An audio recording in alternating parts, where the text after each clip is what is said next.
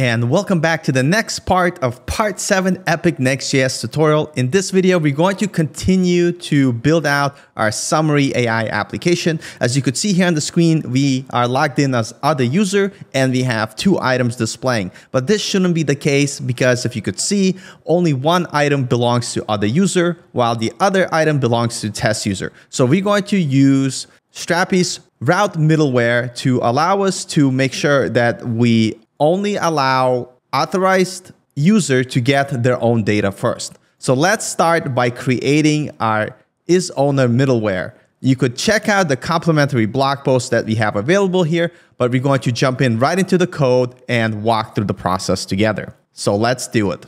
We're going to use our command line interface tool to create our middleware. You could read more about it in the documentation.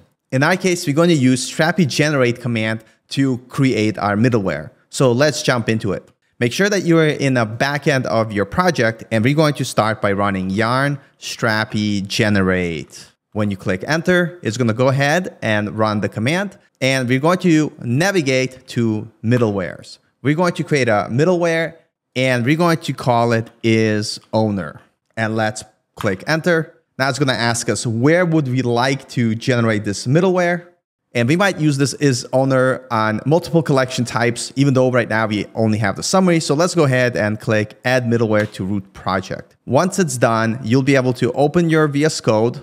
You will see in the source, we have this middlewares folder. If we take a look and we'll see our isowner.js file that we just created, which has basic boilerplate. In the blog post that's associated with this tutorial, you'll find a link in the description below. You're going to see the snippet for our isowner middleware. Let's go ahead, copy it, and replace it here in our code. Scroll to the top, and we're gonna quickly take a look at what this middleware does.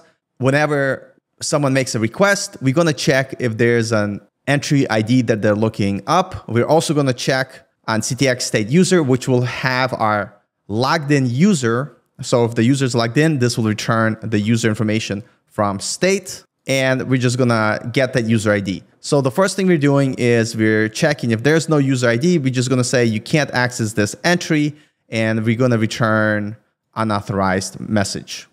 If we continue here, here we are checking the API that we're using. So in this case, if we make a request to summaries, this is going to get the summaries ID, which we're going to apply here. And so that way we are going to always have the ID of the collection type that we're trying to find.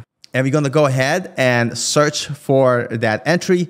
And once we have the entry, we're going to check does the user ID match the logged in user ID? If the user ID and the entry that we found doesn't match, that means it's not our entry. So let's say you can't access this entry and return an error message.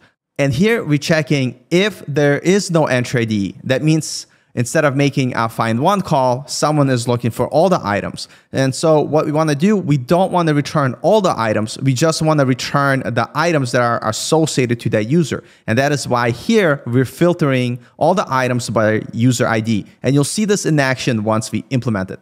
Now for this middleware to work, we need to go into our source and the collection type that we want to use it in, we're going to find it in API and we're going to go to summaries and we want to go into the routes folder. And here in the summaries, we already added a previous middleware that we want to use that runs on create. So we're going to add additional configuration to hook up our is owner middleware to this summary controller. So after create here, we're going to add a middleware for find, find one, update, and delete.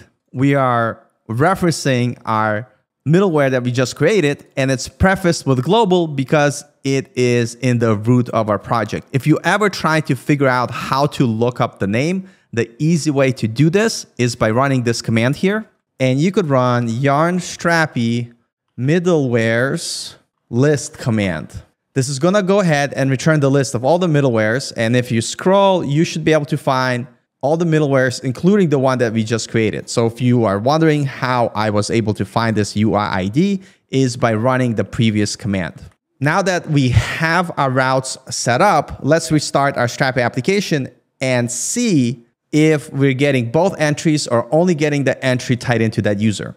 So I'm going to start yarn develop to start our application. And cur currently, I didn't refresh yet. So this is still showing both entries, one for our other user and test user. But after applying our middleware, when I hit refresh, it should only get the entry for the other user. So let's see if that works. And after we refresh, we don't see any of the summary. So what's going on here? So let's take a look here in our middleware. Notice how we're filtering on the user. Because we're filtering on the user, we need to enable that endpoint in our Strapi application.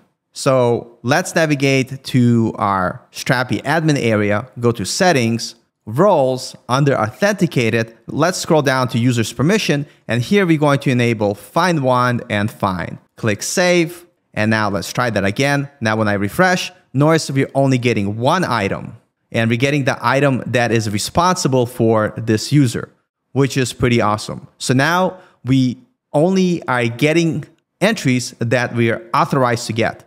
For instance, in my admin, back in Content Manager under summaries, if I manually change this entry to belong to our test user and save, when we go back to our front end and refresh, now we're going to show no entries found because it now belongs to a different user.